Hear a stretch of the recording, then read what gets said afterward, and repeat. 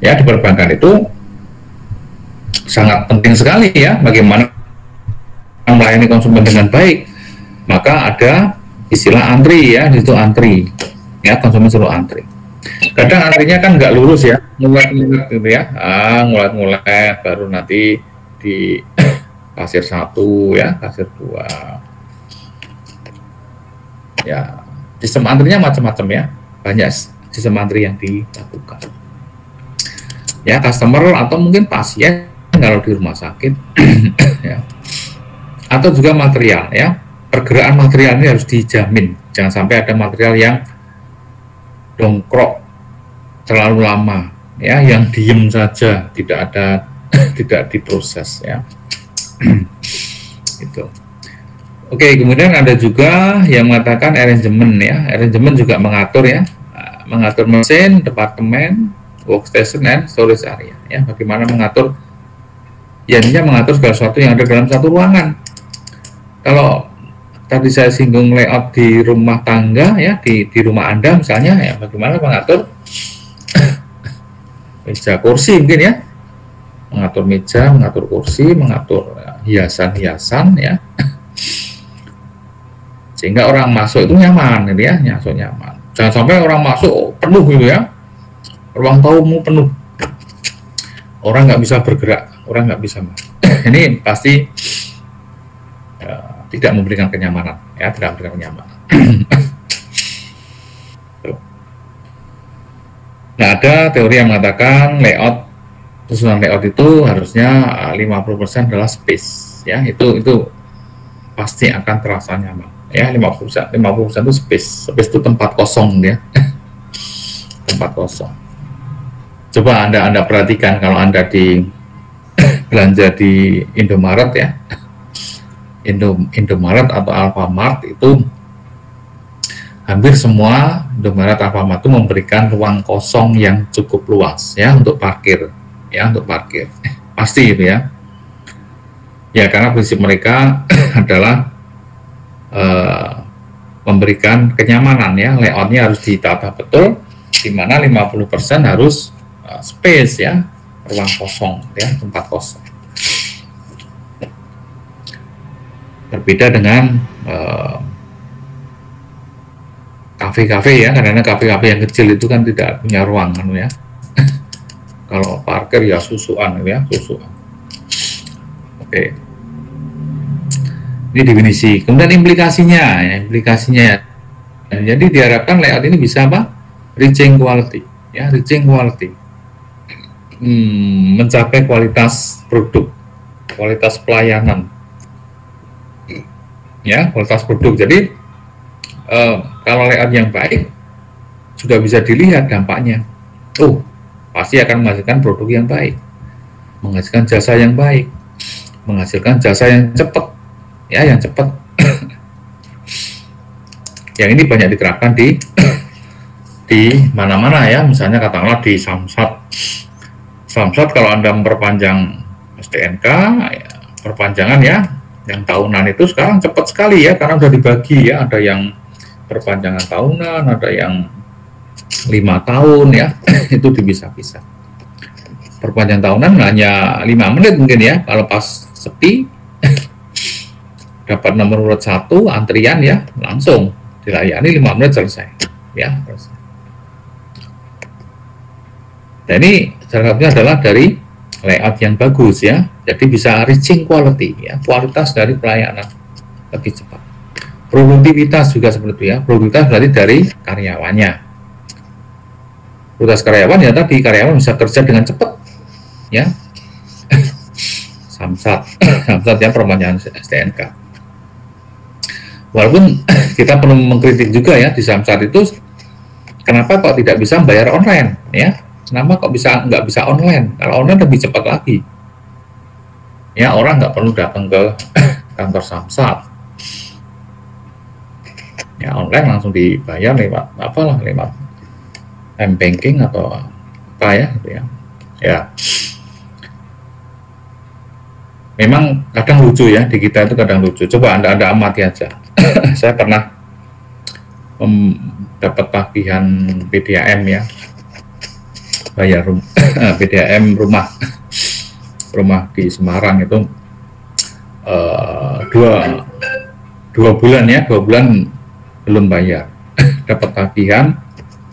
Kemudian saya pengennya praktis itu ya bayarnya lewat lewat anu aja ya M, M banking misalnya ya.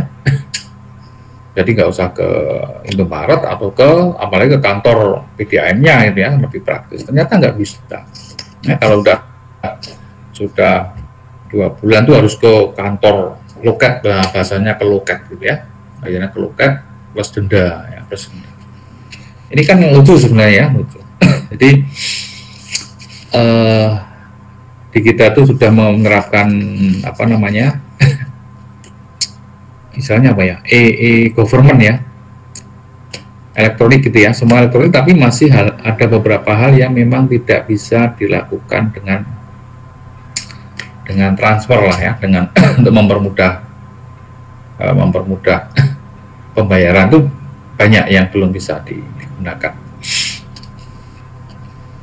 Oke okay, ya, uh, selain produktivitas kemudian competitiveness ya, daya saing perusahaan itu akan bisa meningkat ya dari satu sisi aja penataan layout yang bagus bisa meningkatkan persaingan perusahaan ya daya saing perusahaan karena di situ barang pekerjaan bisa dilakukan dengan cepat ya dengan baik dengan metode yang lebih baik karena adanya layout yang baik. Kemudian yang kedua, how efficient worker can do the job ya seberapa efisien pekerja-pekerja atau karyawan itu dapat meng mengerjakan pekerjaannya.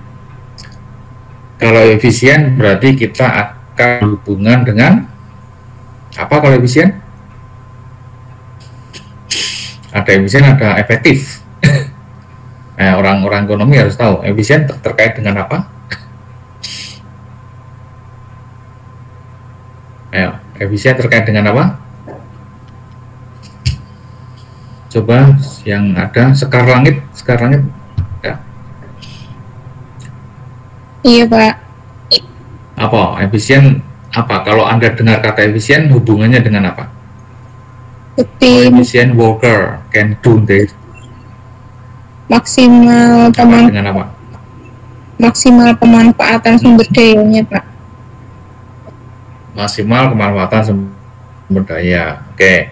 Singkat saja ya kalau efisien itu kaitannya dengan dengan uang ya. Dengan dengan uang dengan dihitung dengan uang jadi jadi bagaimana efisien worker ya jadi karyawan itu dalam mengerjakan pekerjaannya itu bisa lebih cepat. Kalau lebih cepat berarti kan eh, barangnya itu akan lebih murah gitu ya, lebih banyak yang dihasilkan. Nah, gitu ya. Lebih banyak dihasilkan berarti lebih murah ya, lebih murah kan. Nah, ini layout harus bisa menjamin itu gitu ya. Seberapa efisien.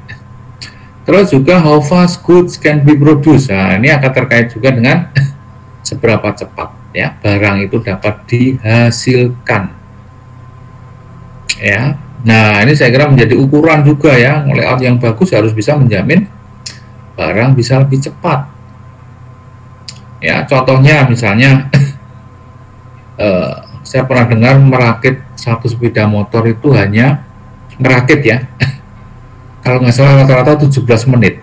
Mungkin ada yang tahu. Nah yang cowok-cowok ini ada yang tahu nggak? Merakit sepeda motor hanya 17 menit. Satu sepeda motor ya. Satu sepeda motor itu 17 menit. Itu berarti satu satu metode perakitan yang sangat cepat ya sangat cepat sekali.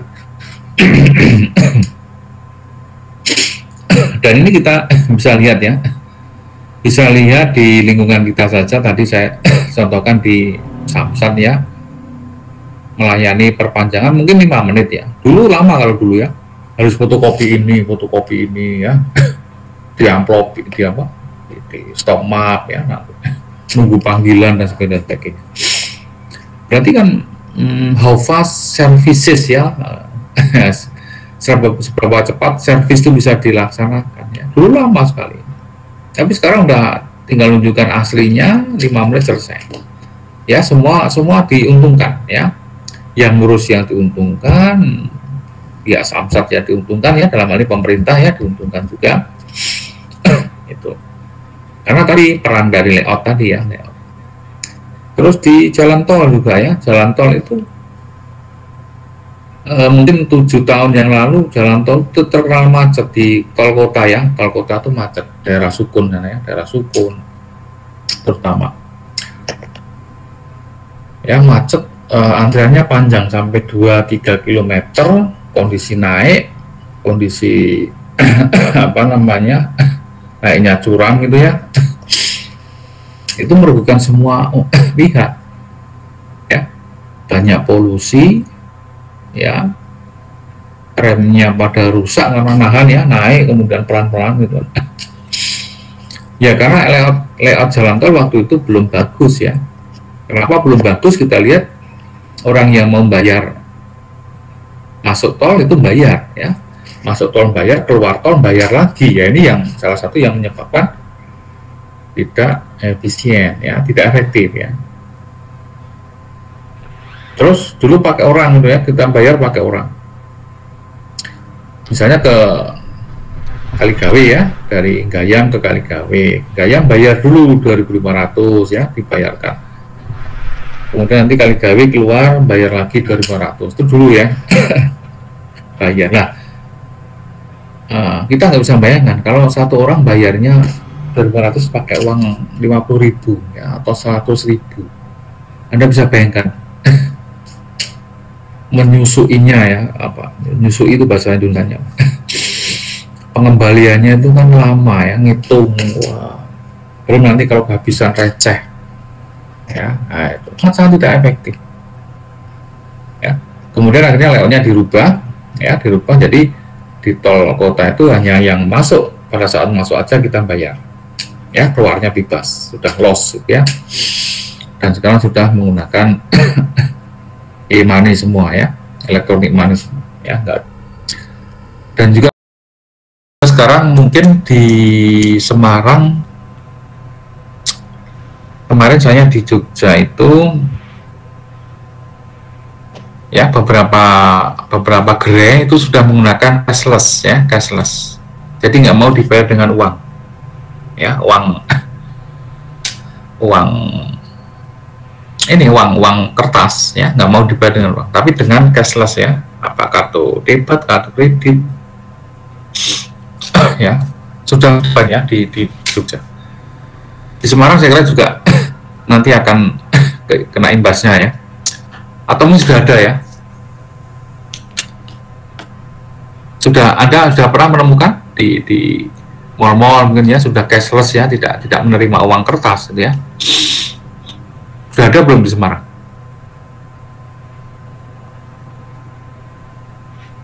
Ada yang pernah mengalami? Atau masih uang bisa dibayar dengan uang kertas?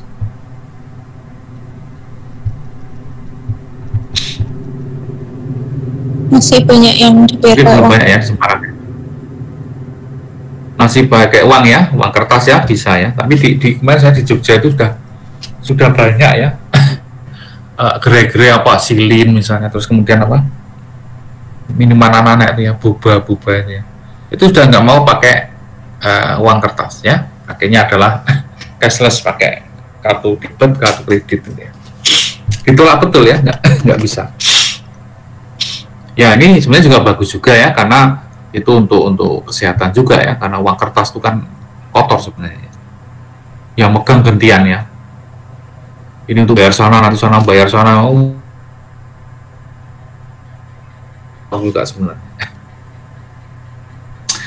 Ya how fast uh, good can be produced. Ya seberapa cepat seberapa cepat barang itu bisa barang atau jasa bisa dihasilkan. Kalau di jasa juga sama ya. Jasa di perbankan misalnya, perbankan akan selalu me, me, me, apa namanya menerapkan metode yang mempercepat pelayanan pada nasabah. misalnya sekarang kalau di bank yang saya tahu ya, begitu kita masuk langsung satpam sudah punya kewenangan ya menanyakan. Mau apa? Transaksi apa? Ah, dan itu saya kira juga ada ada apa namanya untuk untuk pencegahan juga ya. Kalau orang niatnya jelek ke bank mau ngerampok oh misalnya kan dia bingung ya mau apa gitu kan tapi kalau udah jelas oh mau transfer mau ngambil uang atau mau bayar SPP misalnya itu kan jelas ya. Maka langsung bisa di, dilayani ya oleh bagian front office ya dari satpam. Sehingga pelayanan akan lebih cepat. Sama di, di di rumah sakit juga sama ya. Orang masuk pasti akan di langsung di bagian informasi ya informasi. Kemudian jasa pendidikan juga sama ya anda semua ini how fast kayak how fast uh, good ya. Jadi kalau disetarakan dengan barang ya seberapa cepat anda bisa bisa dihasilkan ya. Seberapa cepat anda kuliah gitu ya. S1 sekarang bisa tiga setengah tahun ya. Banyak yang tiga setengah tahun. Sehingga jangan lama-lama ya. Dan kalau sudah berapa? Tujuh tahun ya. Tujuh tahun sudah anda sudah tidak tidak efektif ya sudah di detail kalau bahasa gampangnya ya namanya sudah detail dari dari ya dari fakultas ekonomi ya jadi jangan lama ini ya jangan lama karena otomatis ya nanti sudah itu otomatis detail ya. Oke, kemudian how responsive the system can change product or service design. Ya, product make and demand volume. Jadi sistem itu, sistem yang ada di dalam ruangan itu harus bisa hmm, responsif ya, responsif. Kalau ada perubahan desain produk, ya, desain produk berarti kan butuh perubahan layout dengan cepat gitu ya, atau produk mix misalnya, atau permintaan yang banyak ya demand volume permintaan yang banyak permintaan yang meningkat kira-kira bisa nggak memenuhi itu ya layout di situ? Ya ini ya, harusnya bisa ya jadi implikasinya layout sampai ke situ. Oke kemudian ya kalau tadi implikasi sekarang objektif ya objektif of the layout design. Ya, jadi desain layout yang dibuat itu harus punya tujuan. Tujuannya apa sih gitu ya ya layout itu kan sarana saja sebenarnya sarana. Jadi dia bisa memfacilitate attainment of product or service quality ya. Ya memfasilitasi pencapaian kualitas produk atau jasa ya memfasilitasi.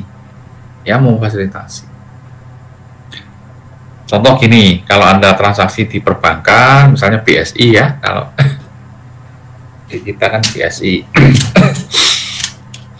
apalah bayar SPP atau bayar apa itu kan di situ ada fasilitas-fasilitas yang yang yang ada di bank perbankan ya, ada beberapa fasilitas. Misalnya ada tempat duduk, ya ada AC yang nyaman. Maka fasilitas itu uh, layout adalah memfasilitasi ya pencapaian kualitas produk dan jasa. Artinya memfasilitasi itu memberi mendukung, memberikan dukungan. Contoh misalnya kalau anda masuk perbankan, tahu-tahu di situ nggak ada kursinya, ya ruang tunggunya nggak ada kursinya, pakai tikar gitu.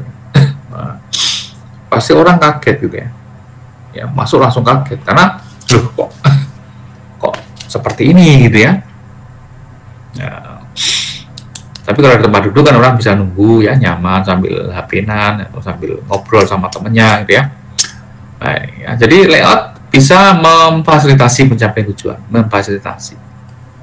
Terus layout bisa juga use worker and space efficiently ya, penggunaan karyawan dan space secara efisien. Ya, penggunaan karyawan artinya dalam ruangan itu tentunya diukur ya berapa jumlah karyawan yang layak di ruangan itu berapa jumlah pekerja berapa jumlah karyawan di pabrik misalnya ya yang yang layak di situ jumlahnya berapa. Dan juga space ya tadi saya singgung space space itu ruangan ya. Pasti ada ruangan ya. Ruangan kosong ya. Ruangan yang kosong yang bisa digunakan. Secara efisien ya jadi ada ada penggunaan karyawan efisien itu artinya ya karyawannya tidak terlalu banyak dalam satu ruangan gitu ya. Space-nya juga jangan terlalu sempit. Anda bisa bayangkan masuk rumah seseorang misalnya ya di situ ruang tamunya penuh kursinya penuh gitu ya. Anda mungkin masuk aja sulit gitu ya. Itu maka tidak efisien. Oke tujuan yang adalah avoid bottleneck avoid itu meniadakan ya meniadakan bottleneck. Bottleneck itu leher botol ya. Leher botol itu dalam konteks ini adalah segala sesuatu yang menghambat ya. Botol itu kan punya leher ya kecil gitu ya. Leher itu kan leher botol itu uh, identiknya adalah menghambat ya. Jadi meniadakan segala sesuatu yang menghambat ya. Ya yang menghambat macam-macam ya tadi space-nya yang terlalu sempit misalnya itu menghambat juga. Letak mesin yang terlalu dekat misalnya ya. Terlalu rapat ya. Itu juga bottleneck ya bottleneck. Oke kemudian ada minimize unnecessary material handling. Ya meminimisasi biaya-biaya penanganan material yang tidak penting ya. Penanganan material yang tidak penting. Kalau dalam proses produksi bahan baku dimasukkan ke mesin satu misalnya dari gudang ke mesin satu mesin dua. Nah ini harus harus apa flow-nya harus teratur gitu ya. Perputarannya harus smoothly tadi ya terus menerus ya jangan sampai berhenti mesin satu dikeluarkan dulu berhenti nanti baru masuk mesin dua. Ini uh, tidak smoothly ya tidak smoothly.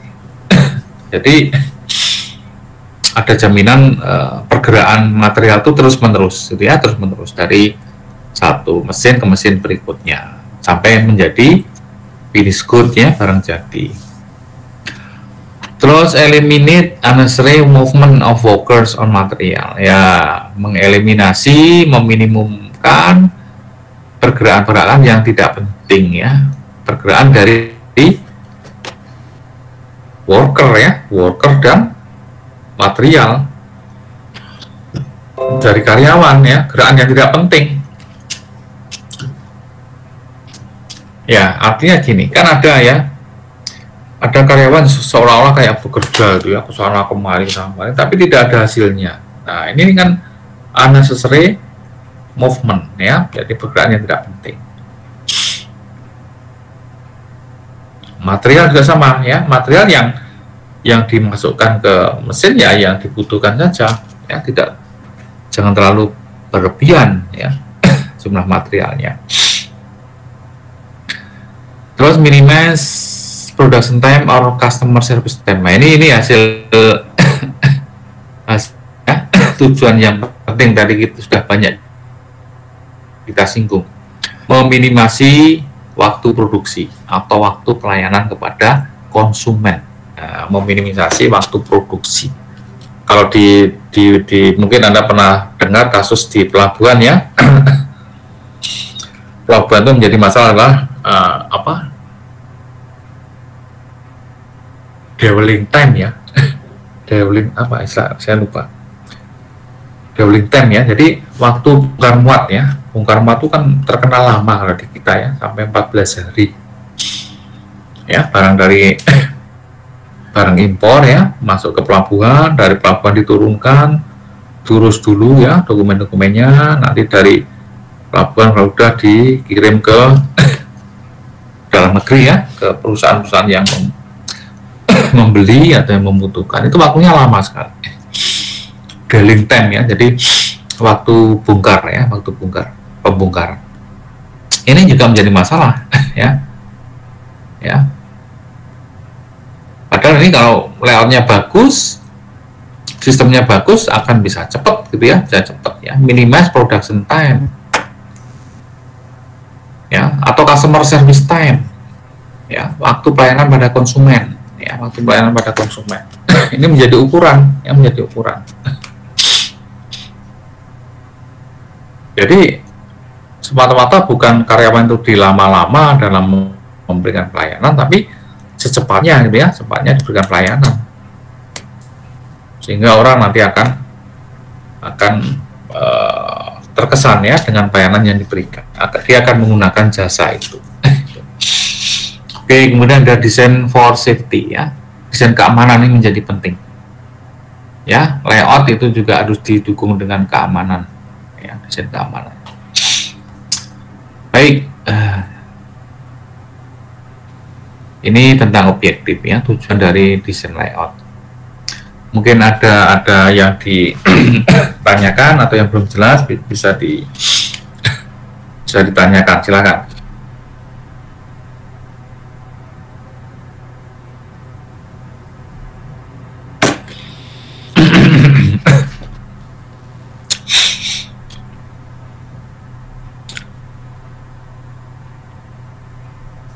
atau chatting boleh ya? Boleh chatting nggak apa-apa. Ada kan biasa chat ya chatting. Ini sudah di kos-kosan apa masih di rumah masing-masing? Di rumah? Masih di rumah masih di rumah ya? Ya ini ini eh, kampus juga masih belum belum ramai banget ya belum ramai karena kita biasanya uh, libur itu panjang ya. Dulu, dulu kan maksudnya tanggal 16 ya tapi kemudian dipotong jadi di tanggal 9 hari ini ya hari ini masuk. Tempat tadi saya ke kampus masih masih sepi lah gitu ya masih. Belum belum banyak yang datang. Terutama di kuliah ya kalau kelas sore kan masih masih online terus kalau minggu depan itu yang kelas sore offline atau online pak? Nah itu itu gimana? Sudah ada pengumuman belum? Hmm, ini yang yang kelas pagi pun saya kemudian masih online ya karena tadi masih mengantisipasi pengumuman yang berubah tadi ya harusnya kan kita dulu tanggal 16 ya kemudian diajukan tanggal 9 ini sehingga kemungkinan besar juga mahasiswa masih masih menggunakan data lama ya masuk tanggal 16 apalagi yang jauh-jauh ya kan ada yang dari Sultra dari Kalimantan ya dari Sumatera dan sebagainya. Uh, setelah saya belum tahu nanti yang kelas sore terutama ya kelas sore ini apakah nanti offline. Kita nganu aja ya pokoknya kita jalani nanti kalau ada pengumuman offline ya offline. Ya karena offline offline juga sebenarnya lebih bagus ya. Jadi saya bisa ya memberikan apalagi kalau nanti hmm, kuantitatif ya. Hitung-hitungan kan kalau offline online kan agak sulit ya agak sulit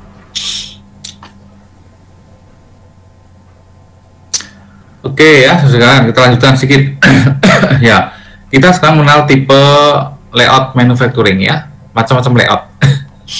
ada proses layout, ya, ada produk layout, ada fix position layout, ya, ada atau seluler ya. Nanti kita fokus ke dua ini ya, proses dan produk saja ya, proses layout. Coba sekarang kita lihat apa itu proses layout uh, ya definisinya adalah similar operation are performed in a common or functional regardless of the product in which part are used. Gini gampangnya ya, gampangnya. Jadi biasanya operation ya, kegiatan operasional itu dibangun atau dilakukan dalam dalam sebuah uh, common or functional area ya. Fungsional area coba ini ini kata kata kunci fungsional area. Mungkin bisa anda blog atau anda catat ya. Jadi operasinya di perform dibangun berdasarkan pada fungsional area. Ini kuncinya di situ ya. Apa itu fungsional area? Ya fungsional area itu berarti berdasarkan pada fungsi masing-masing ya pengerjaan barang atau jasa itu berdasarkan pada fungsi masing-masing. Kalau di jasa misalnya kalau orang jasa rumah sakit lah ya, uh, orang misalnya uh, kecelakaan ya, kecelakaan ya apa fungsinya yang menangani orang kecelakaan?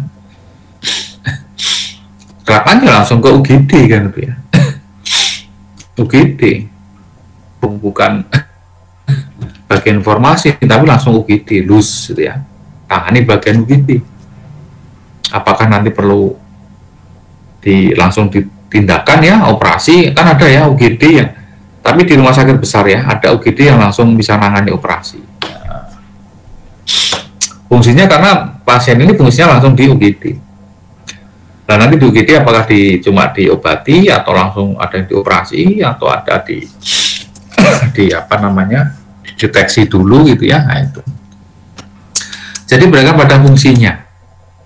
Tapi kalau anda ke rumah sakit hanya ingin general check up misalnya ya maka akan masuk bagian informasi. Nah, ya fungsi atau departemen informasi. Tanya gitu ya oh kalau cek general check up gimana? Oh nanti di ruang sana. Darahnya di sana. Sama dokter ini. Waktu sekian lama ya nanti hasilnya bisa diketahui langsung. Nah itu ya. Jadi dasarnya pada fungsi fungsi fungsional ya fungsinya. Tapi kalau orang mau periksa anu lagi misalnya periksa periksa apa periksa penyakit dalam misalnya ya. Maka dia dari bagian informasi akan diteruskan ke penyakit dalam ya dokter penyakit dalam. Nah itu berdasarkan pada fungsinya sehingga masing-masing orang itu berbeda-beda. Pelayanannya berbeda-beda. Ini ini di layout proses seperti itu gambarannya seperti itu. Ya gambarnya seperti itu.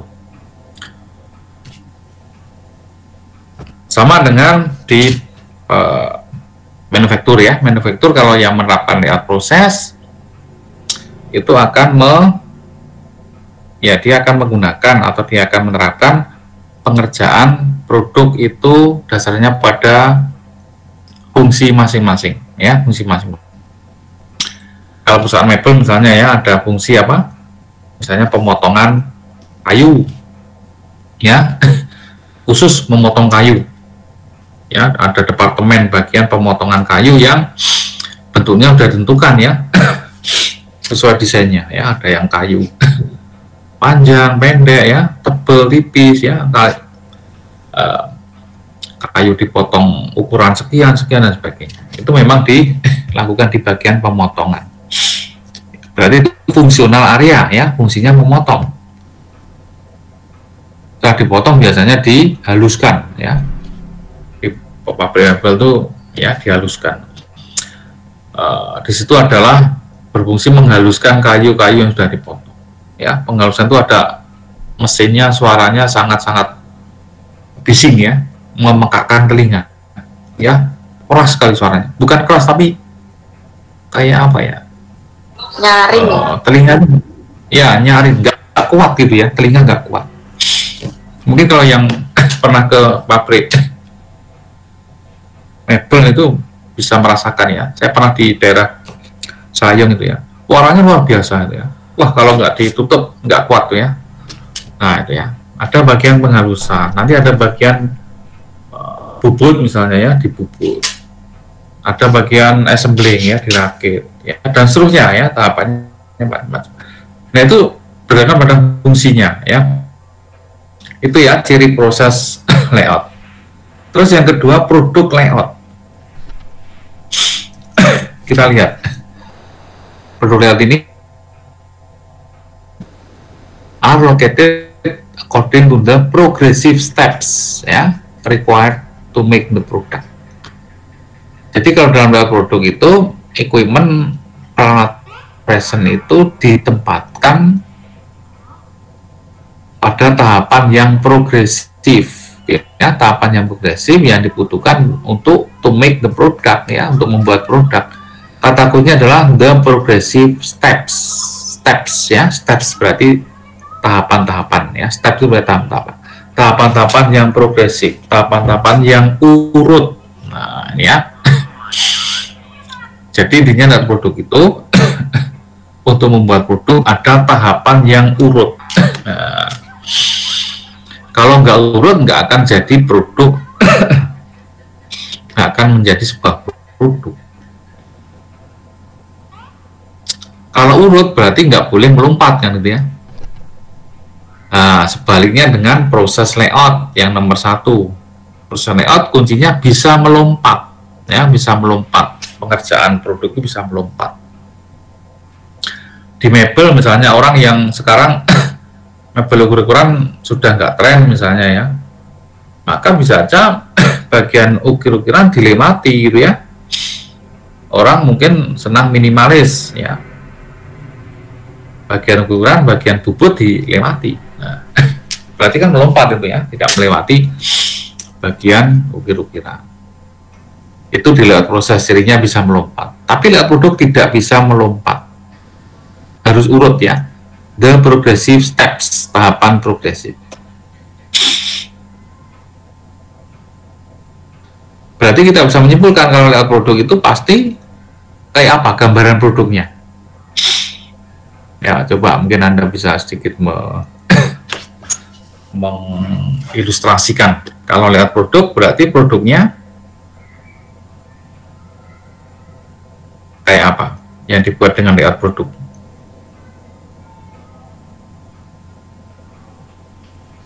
Ayo, kasih komen.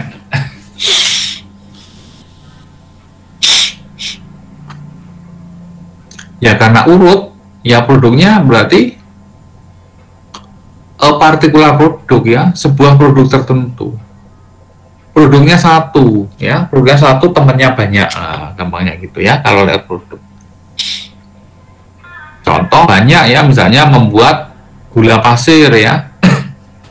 Pabrik gula itu kan membuat gula pasir tahapannya sama ya, caranya sama dari tebu masuk apa namanya penggilingan ya diperas gitu ya terus ada ada apanya apa? Ada wis ya. Ampasnya ya ampasnya itu dibuang atau diproses lain ya. Terus tebunya kan cairan ya. Dari tebu diperes kan jadi cairan. Cairan nanti masuk mesin berikutnya adalah mesin apa pengeringan atau apa ya pengeringan. Kemudian nanti dari pengeringan ada disaring gitu ya penyaringan gitu ya. Penyaringan kemudian ada tahapan berikutnya menjadi akhirnya menjadi gula. Nah, gula ini kita bisa me, me, menyimpulkan bahwa pabrik gula ini dibuat dengan produk layout, ya, tahapannya sama, ya, mesin 1, 2, 3, 4 dan seterusnya menjadi produk yang namanya gula, gula pasir lah gitu ya. Atau mungkin kelapa sawit ya, minyak goreng kelapa sawit itu juga sama caranya ya tahapannya sama. Progressive steps. Nah, karena apa cirinya? Produk akhirnya sama. Ya produk akhirnya sama. Tetapi kalau produsen penjahit misalnya ya penjahit. Penjahit itu cenderung menggunakan proses layout. Coba kita kita lihat pakaian yang Anda pakai dari berapa ini? 18 ya mahasiswa yang hadir. Ini kan beda-beda semua gitu ya. Kalau beda berarti tahapan pengerjaannya berbeda. Ya ini misalnya contohkan dalam satu satu penjahit ya, itu berarti menggunakan proses ya proses layout. Ya proses layout. Itu ya jadi uh, Anda pegang bedanya dulu ya, bedanya antara proses layout dan produk layout. Oke, kemudian ada fixed position ya, fixed position di satu kondisi layout yang intinya tidak bisa dirubah-rubah ya. Entah itu fasilitasnya, entah itu mesinnya, ya mesin-mesinnya atau mungkin kalau di rumah misalnya apa yang nggak bisa dirubah-rubah itu misalnya posisi tempat tidur misalnya ya karena ruangannya memang sudah sudah didesain atau tidak bisa di, dirubah-rubah ya tempat tidurnya misalnya. Berarti ini fixed position ya. Sebuah produk karena ya, ukurannya dan beratnya maka tidak bisa dipindahkan dari lokasi ya atau dibawa ke lokasi yang lain. Nah ini V position. Kemudian ada grup teknologi atau seluler. ya, seluler itu grup of dissimilar mesin ya. Pengelompaan-pengelompaan mesin yang tidak biasa are brought dibawa together uh, in a work cell, box cell ya, to perform task on a family of product that share common interest. ya. Jadi mesin-mesin itu di bro dibawa atau di, di, di, ditempatkan bersama-sama dalam satu sel kerja. Ya, sel kerja itu berarti berarti seluler itu kan fleksibel gitu ya. Kalau mau membuat produk ini maka mesinnya dikumpulkan gitu ya untuk membuat produk A. Tapi nanti kalau ada permintaan produk B dipindahkan lagi mesinnya ya untuk membuat produk. Ini ya. Baik next ya basic layout kita lihat sekarang uh, ada dua sebenarnya ya. Ini kita sudah masuk ya sudah spesifik kita. Sudah masuk ke proses ya proses layout.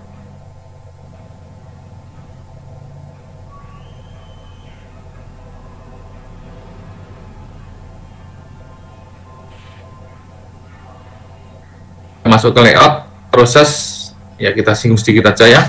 Nanti minggu depan kita masuk ke aplikasinya ya aplikasi dari layout proses. Baik kita kenal dulu ya uh, proses layout adalah layout that handle varied processing requirement ya. Jadi ya layout yang bisa menangani atau menghandle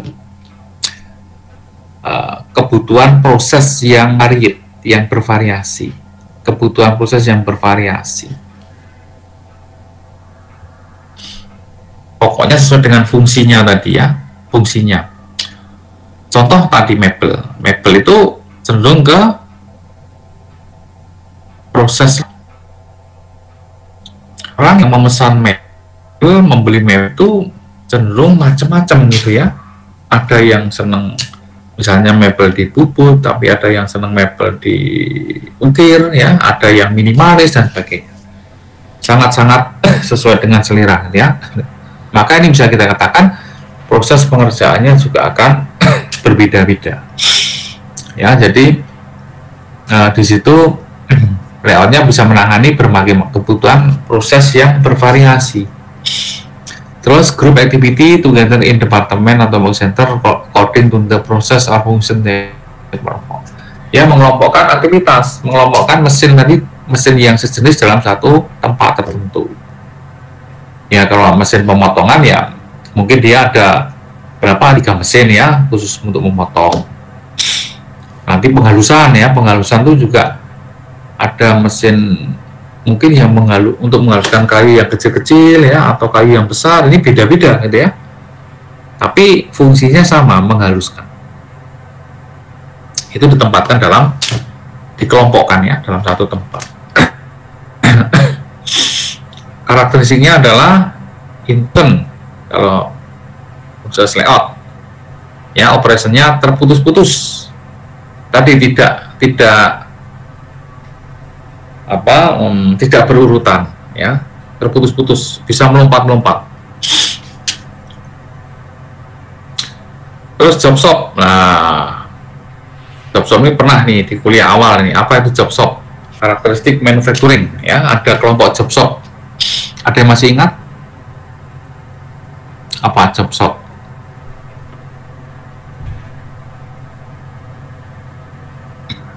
Ya, karakteristik ini dari proses layout job shop. Ya, job shop itu karakter manufaktur yang ada di posisi kiri kiri atas ya kalau salah. Nanti dicari lagi ya, kiri atas. Volumenya bagaimana, variasinya bagaimana. Nah, itu kaitannya dengan volume dan variasi. Terus customer order is low. Ya. Pesanan konsumen itu sedikit ya, sedikit. Tadi mebel misalnya ya, kan macam-macam mebel macam-macam dan yang pesan sesuai dengan keinginannya sendiri ya. uh, jangan sampai perusahaan mebel membuat mebel uh, meja yang sama semua gitu ya. Pasti nggak akan nggak akan laku gitu ya. Nah, ya customer order is low. Terus the worker skill in particular department ya. Keahlian karyawan itu hanya di departemen tertentu contoh saya contohkan tadi kalau bagian motong kayu ya dia akan uh, tugasnya motong kayu terus ya. Keahliannya motong kayu. Bagian penghalusan dia bagian ya keahliannya menghaluskan kayu. Ini ya the, the vocal skill in particular department. Oke okay, kemudian next keuntungannya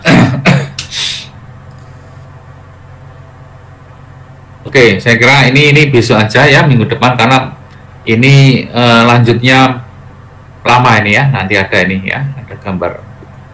Nanti kita akan uraikan sambil sambil apa namanya kuantitatifnya nanti ya. Baik, saya kira itu itu dulu aja ya untuk kesempatan pertama ini pemanasan ya. pemanasan nanti kita minggu depan sudah mulai sudah mulai yang yang yang dalam-dalam ya. Baik, mungkin sebelum kita tutup ada pertanyaan. Silakan ada pertanyaan atau mungkin ada yang belum jelas silakan.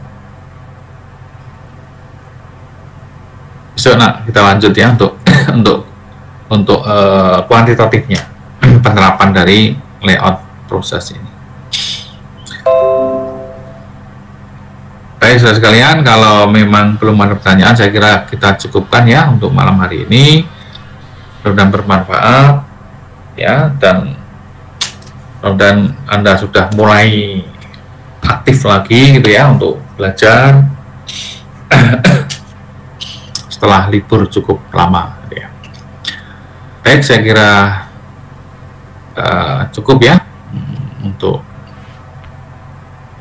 malam hari ini. Ya kita akhiri. Assalamualaikum warahmatullahi wabarakatuh. Waalaikumsalam warahmatullahi wabarakatuh. Oke. okay.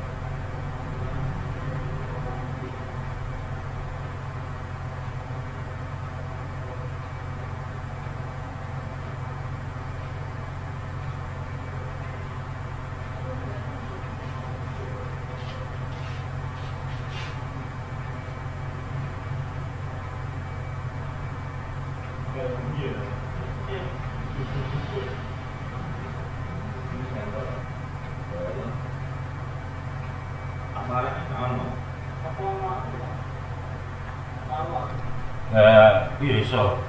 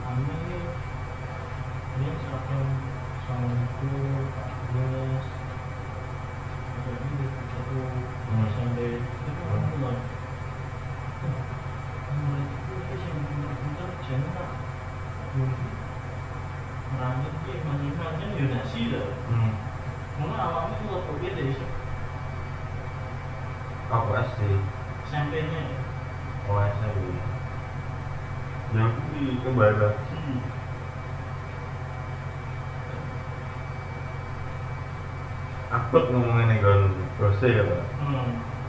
Aku ini 2019 ngomongnya 2002 sih. Oh, berarti emang itu lewat PBD. Ya, sing nyekel sekolahan sak kota Semarang. Nah, rajan sepuluh juga ya. Iya. Ewo. Tak pikir mau bisa apa lewat antar guru bisa. Naik guru iso. Ya aku kembali lagi di dan berapa cedak karo itu guru.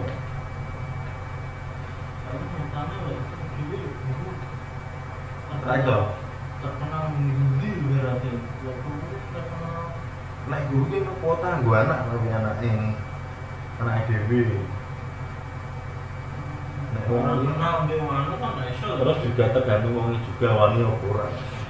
Nanti orang kenal dia SMP tujuan kan Iya. Memang saya ini di internasional. Nah, itu lagi kan punya SD lima meter sari. Kan sebenarnya yang Nomor dua. si bakal nggak ono bocah lomba lomba, Hmm.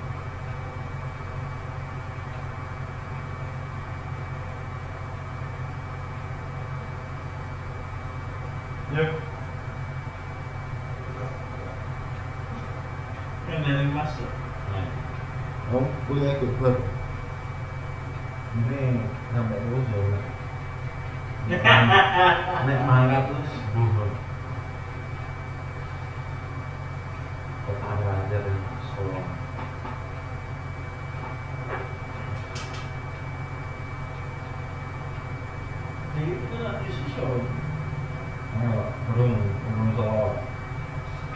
Namanya kok tipe bebas burung macam. Iya, berarti loh. Hmm, tidak tidak. Iya saya sedikit. Oh.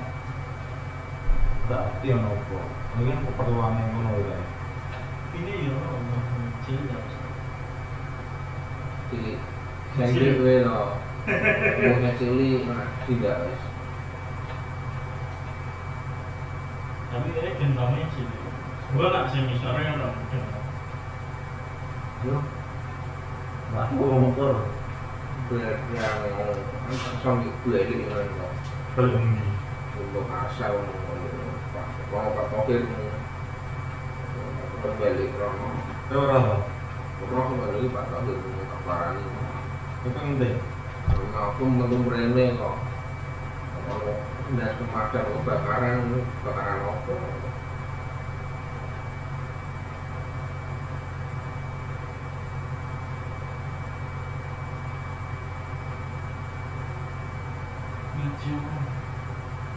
Promo gue.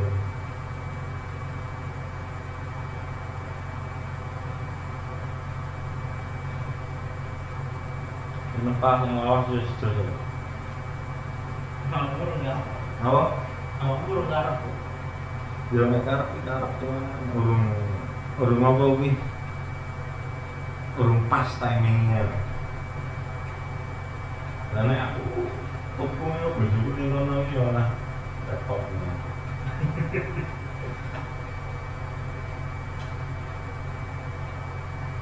Sisi-sisian barang itu ngono sambung. Iya, Mas. Lahan kosong. Lahan kosong. song siap pula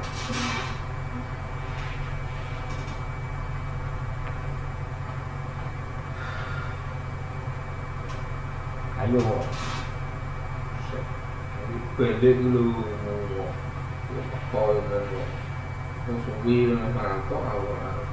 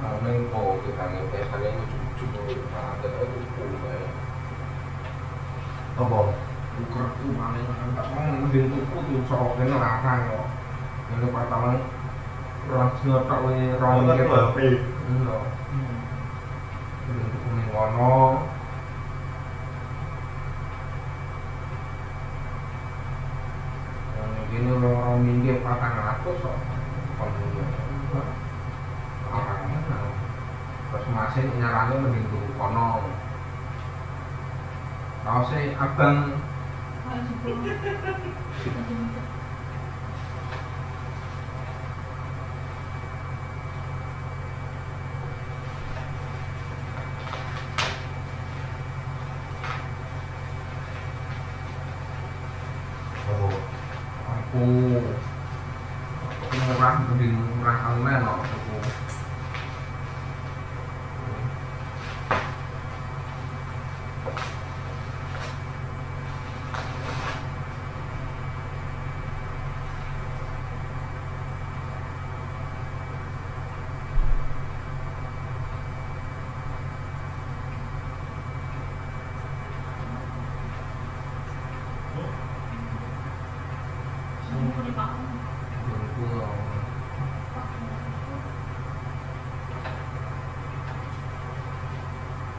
kamu nggak perlu kamu paham stop dulu ya paham lalu pasang pun nggak apa jalan tak apa ayo apa tuh gimana ya masya allah itu kusen kamu lu ini cuma paham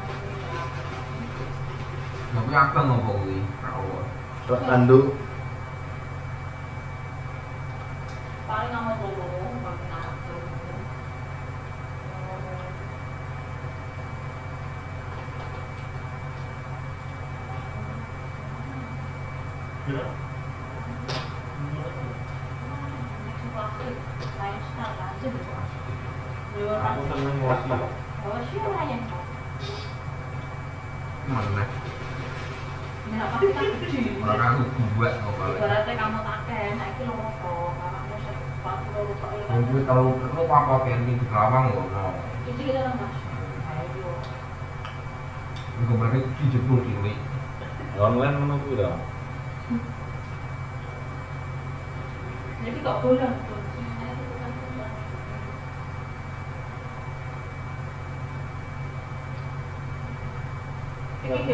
要不要回？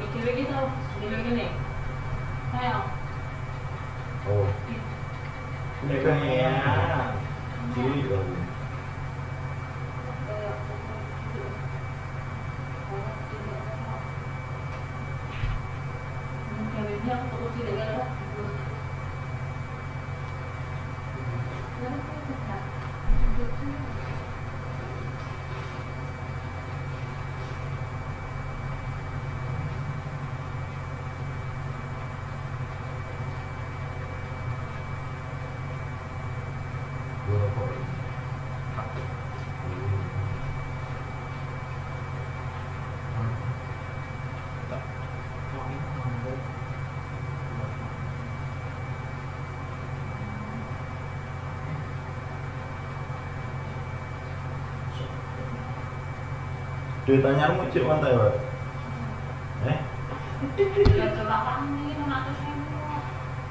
Apa? Lah ora duit anyar iki cek mantai yo apa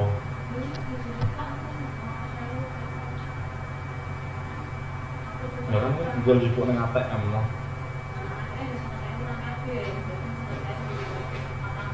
Muncul lagi nang bang.